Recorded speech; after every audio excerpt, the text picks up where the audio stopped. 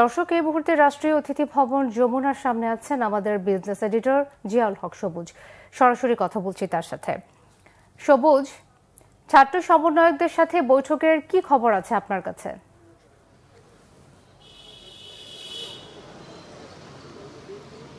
মিথিলা, আমি এখন এই মুহূর্তে প্রধান উপদেষ্টার যে যমুনার বাসভবন সেখানে অবস্থান করছে। আপনাকে জানিয়ে রাখি, এখানে বৈষম্য বিরোধী ছাত্র আন্দোলনের সমন্বয়ক সহ বিভিন্ন সংগঠনের যে ছাত্র নেতারা রয়েছেন, তার সঙ্গে বৈঠক করছেন প্রধান উপদেষ্টা ডক্টর মোহাম্মদ ইউনুস। মূলত এই বৈঠকটি হচ্ছে আসলে জাতীয় ঐক্যের ডাক দেওয়ার প্রস্তুতি হিসাবে এই বৈঠকটি শুরু হয়েছে। আপনাকে জানিয়ে রাখি যে আপনি জানেন গতকাল ভারতের যেই আগরতলা রয়েছে, সেখানকার ভারতীয় যে সহকারী হাই কমিশন বাংলাদেশের যেখানে রয়েছে সেখানে সেখানে হিন্দু যেই সংঘর্ষ সমিতি সহ কয়েকটি সংগঠনের যেই নেতারা বা তাদের সমর্থকরা সহকারী হাইকমিশনে ভাঙচুর চালিয়েছে, হামলা চালিয়েছে, একই সাথে জাতীয় পতাকায় আগুনও দিয়েছে। আমরা আরেকটি তথ্য জানিয়ে রাখি যে তারা সেখানে যেটা মুম্বাইতে খবর পেয়েছি, মুম্বাইতে উপ হাই কমিশনে সেখানেও কিন্তু তারা এক ধরনের বিক্ষোভ করেছে।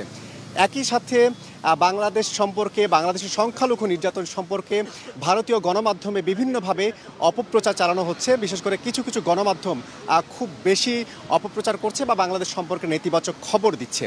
এই বিষয়গুলো নিয়েই আসলে কীভাবে জাতীয় ঐক্যের ডাক দেয়া যায় কীভাবে সবাইকে একত্রিত করা যায় কীভাবে বিভিন্ন রাজনৈতিক সংগঠন ছাত্র সংগঠন এবং ধর্মীয় সংগঠন রয়েছে তাদের সবাইকে এক কাতারে নিয়ে আসা যায়। সেই বিষয়গুলো নিয়েই মূলত প্রধান উপদেষ্টা বিভিন্ন পক্ষের সাথে আজকের সংলাপ শুরু করেছেন।